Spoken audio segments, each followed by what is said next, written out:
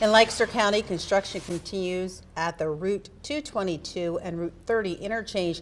It's one of the most used roads in the midstate. Evan Popalis has the latest with how work has been going. Evan. Valerie, yeah, construction started in September and backups continue to happen for drivers out here on the interchange. But PennDOT says it's necessary work in order to get the most out of the interchange it's progressing. They've got a lot of the uh, early stages of the uh, temporary uh, paving done. The $70 million construction project for the Route 222 and Route 30 interchanges over three months in.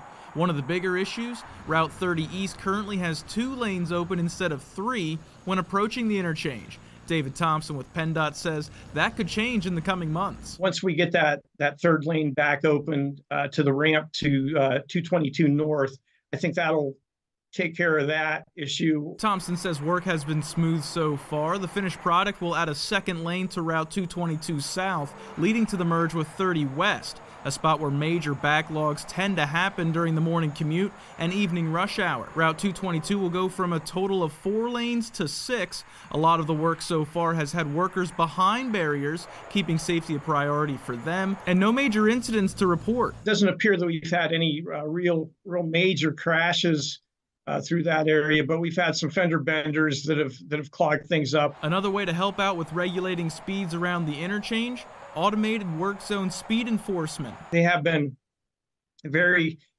uh, instrumental and effective in, in, slowing the average speed down through our work zones. Traveling in heavy traffic daily can get old quick. So, how much longer is PennDOT expecting work to take? We're still looking at that four year timeline? 2027, yeah. And Thompson says PennDOT has been using electric signs on Route 222, 30, and 283 to warn drivers about potential backlogs. In Lancaster County, Evan Papalis, ABC 27 News. All right, Evan.